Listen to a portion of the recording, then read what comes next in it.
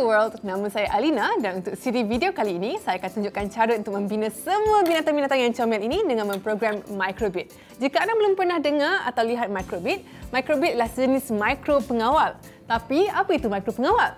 Mikro pengawal boleh dibayangkan seperti komputer yang telah dikecilkan. Walaupun mikro pengawal tidak mampu untuk menjalankan beratus aplikasi seperti laptop, tetapi mikro pengawal mampu untuk mengawal dan mengesan isyarat elektrik melalui pin yang ada padanya. Maksudnya, microbit mampu untuk menghantar elektron untuk menyalakan lampu LED, menggerakkan motor dan mengesan jika anda telah menekan butang. Jika anda tahu cara untuk memprogram dan membina menggunakan microbit, anda boleh mencipta pelbagai jenis projek yang sangat hebat. Cool kan?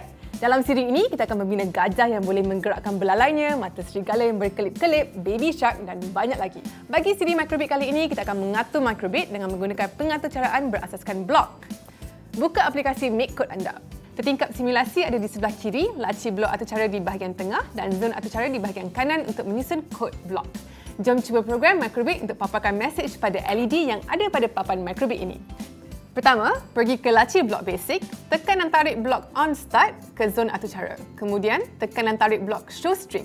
Gabungkan dengan blok on start tadi, anda boleh typekan apa sahaja mesej di sini untuk dipaparkan pada papan microbit.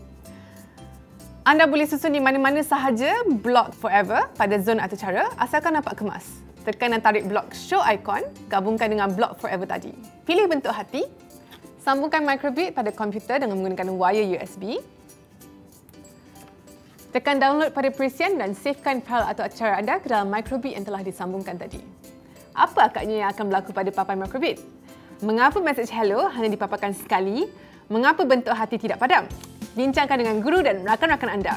Ini adalah cabaran pertama sebelum anda ke episod seterusnya. Paparkan emoji kenyitan mata pada papan microbit anda. Selamat mencuba!